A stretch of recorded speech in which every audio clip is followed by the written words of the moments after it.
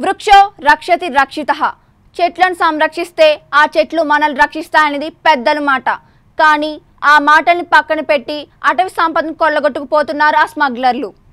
ఒక పక్కన ప్రభుత్వాలు చెట్లను పెంచండి అంటూ ఒక పక్క మొక్కలు నాటుతూ ఉంటే ఆ మొక్కల్ని సంరక్షించుకోవాల్సింది పోయి వాటిని కూకుట వేలతో పేకలించి సొమ్ము చేసుకుంటున్నారు.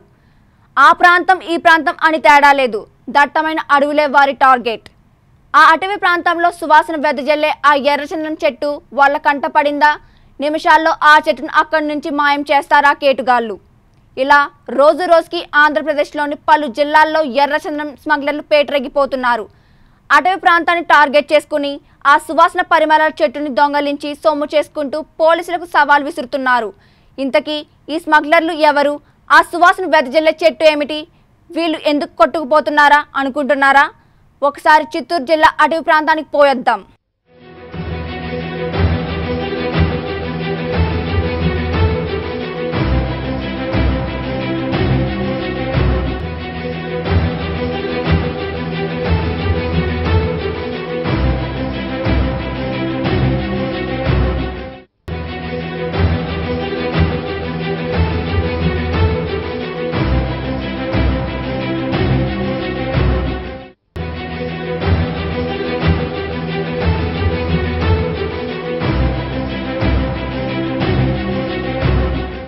ఆంధ్రప్రదేశ్కు ఆనుకుని ఉన్న నల్లమల అటవీ ప్రాంతం కనువిందు చేసే చెట్లతో సువాసన వెదజల్లుతూ దేదీప్యమానంగా ఉంటుంది. కానీ ఆ నల్లమల్ల అటవీ ప్రాంతాన్ని కేర్ ఆఫ్ అడ్రస్గా చేసుకుని కొంతమంది కేటుగాళ్ళు ఆ అడవిలో ఉన్న వృక్షాలను నరికివేస్తూ సొమ్ము చేసుకుంటున్న సంఘటనలు కోకొల్లలుగా ఉన్నాయి. చిత్తూరు జిల్లాలోని అడవిలో ఉన్నటువంటి సుగంధ పరిమళాలు వెదజల్లే ఎర్రచంద్రం చెట్లపై ఆ స్మగ్లర్లు కన్నువేశారు. దీంతో పక్క రాష్ట్రంలో ఉన్నటువంటి కొంతమంది ఆ అడవిపై విరుచుకుపడి అందిన కాడికి దోచుకుని పోతున్నారు. ఈ స్మగ్లర్లపై డేగ కొన్ని వేసిన పోలీసులకు కళ్ళు మిరిమిట్లు గొలిపే పలు ఆసక్తికరమైనటువంటి విషయాలు వాళ్ళ కళ్ళ ముందు కనిపించాయి. అటవీ ప్రాంతాలను స్మగ్లర్లు టార్గెట్ చేసుకుని ఎర్రచందనం దొంగలను తరలిస్తూ అక్రమాలకు పాల్పడుతున్నారు. ఎర్రచందనం స్మగ్లర్లకు చిత్తూరు జిల్లా పోలీసులు గట్టి షాక్ ఇచ్చారు. ఇంటర్నేషనల్ స్మగ్లర్ ఇమ్రాన్ అరెస్ట్ చేసి వారి నుంచి ఆరు పాయింట్ రెండు కోట్ల రూపాయల విలువ చేసే ఎర్రచందనం దొంగలను రెండు కార్లను స్వాధీనం చేసుకున్నారు. చిత్తూరు జిల్లా ఎస్పీ సెందిల్ కుమార్ పక్కాగా రాబడిన సమాచారం మేరకు మదనపల్లి డీఎస్పీ రవి మనోహరాచారి పీలేరు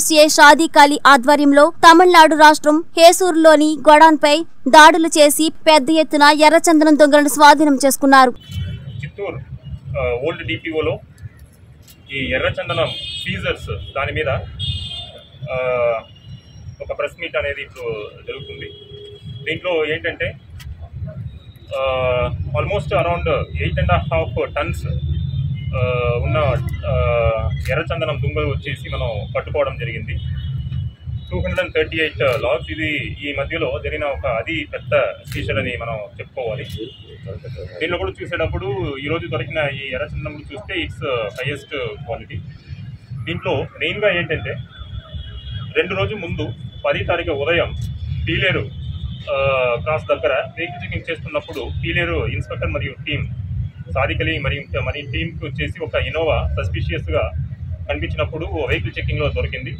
దాంట్లో ఒక స్మగ్లర్ దొరికాడు. అతని పేరు వచ్చేసి కన్నదాసన్ అని. తమిళనాడుకి చెందినవాడు అతను.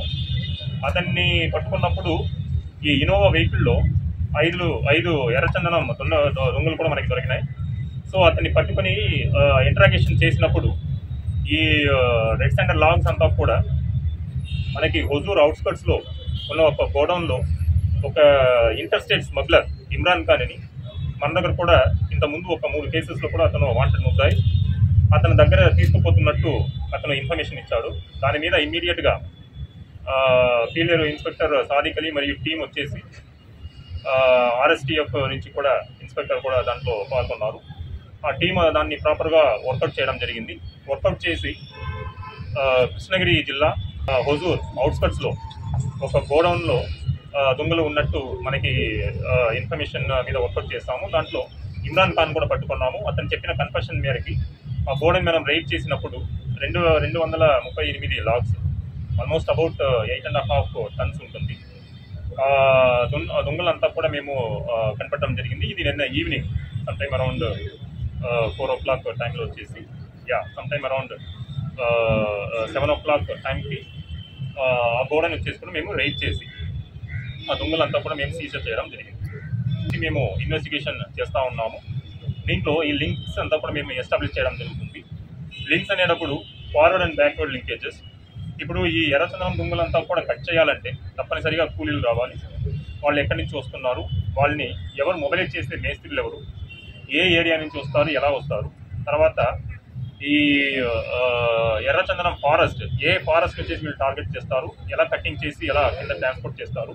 అప్పుడు ఈ లోకల్ లెవెల్లో ఎవరు వాళ్ళకి తోడుగా ఉన్నారు వాళ్ళకి హెల్ప్ చేసే వాళ్ళు ఎవరు?